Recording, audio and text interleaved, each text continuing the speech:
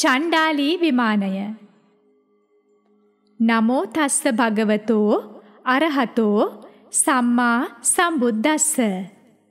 ඒ භාග්‍යවත් අරහත් සම්මා සම්බුදුරජාණන් වහන්සේට নমස්කාර වේවා. පින්වත් චණ්ඩාල ස්ත්‍රිය මේ වැඩ ඉන්නේ ගෞතම බුදුරජාණන් වහන්සේයි. උන්වහන්සේ මහා කීර්තිමත්. දැන් ඔබ උන්වහන්සේගේ සිරිපායුග වැඳ පුදා ගන්න. කල්ප සියයක් ඇතුළත පහළ වී වදාළ සත්වෙනි ඍෂිවරයාණන් වහන්සේ ඔබ කෙරෙහි අනුකම්පාවෙන්මයි මේ වැඩ ඉන්නේ. රහතන් වහන්සේ කියන්නේ අටලෝ දහමින් කම්පා නොවන කෙනෙක්. සිත පහදවා ගන්න. ඉක්මනින්ම ඇදිලි බැඳ වන්දනා කරගන්න. තව බොහෝම ටික වෙලාවයි ඔබට ජීවත් වෙන්න තියෙන්නේ. දියුණු කරපු සිතක් ඇති අන්තිම සිරුරක් දරන උත්තම මුනිදානන් වහන්සේ විසින් ඒ සැඩොල් ස්ත්‍රියව පිනට පෙළඹෙව්වා. ඉතින් ඒ සැඩොලියත් මහා කීර්තිමත් ගෞතම බුදුරජාණන් වහන්සේගේ සිරිපායුග වන්දනා කරගත්තා. මේ ලෝකය අවිද්‍යා අන්ධකාරයෙන් කළුවර වෙලා තියෙන්නේ. චතුරාර්ය සත්‍ය නැමැති හිරු එළියෙන් විතරයි ඒ ලෝකය එළිය වෙන්නේ. ඉතින් ඒ එළිය ලබා දෙන සම්බුදුරජාණන් වහන්සේට වන්දනා කරපු සැඬොලිය ඒ අයුරින්ම වැඳගෙන බුදුරජුන් වඩින මග බලාගෙන හිටගෙන හිටියා. එතකොට ගව දෙනෙක් ඇවිදින් ඒ ස්ත්‍රියව ඇනලා මැරුවා.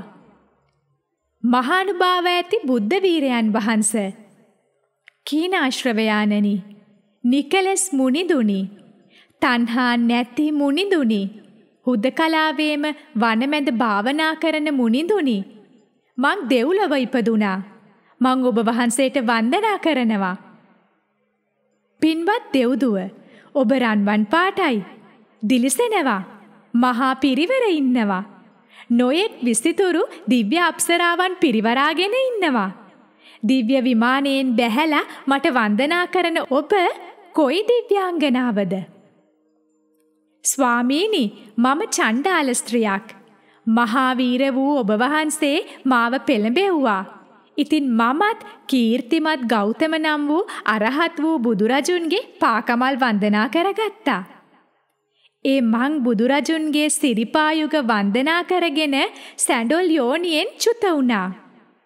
නන්දන වනයේහි දිව්‍ය විමානයක උපන්නා. මේ විමානය හැම අතින්ම ලස්සනයි. දිව්‍ය අප්සරාවන් ලක්ෂයක පිරිවරක් මට ඉන්නවා.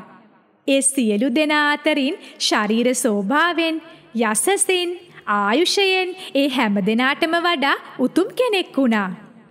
යහපත් දේවල් ගොඩාක් මං රැස් කළා. සිහිනුවන පිහිටුවාගෙන හිටියා. ඉතින් ස්වාමීනි ලෝකයෙහි මහා කාරුණික මුනිంద్రයන් වහන්සේ බැහැ දැකලා වැඳ පුදා ගන්ටයි මං ආවේ. ඒ චණ්ඩාලි දෙවඟන කෙලෙහි ගුණ දන්නවා. කෙලෙහි ගුණ සිහි කරනවා. ඉතින් ඇය ඔය විදියට පවසලා අරහත් මුනිంద్రයන් වහන්සේගේ පාකමල් වන්දනා කරලා එතැනම නොපෙනී ගියා.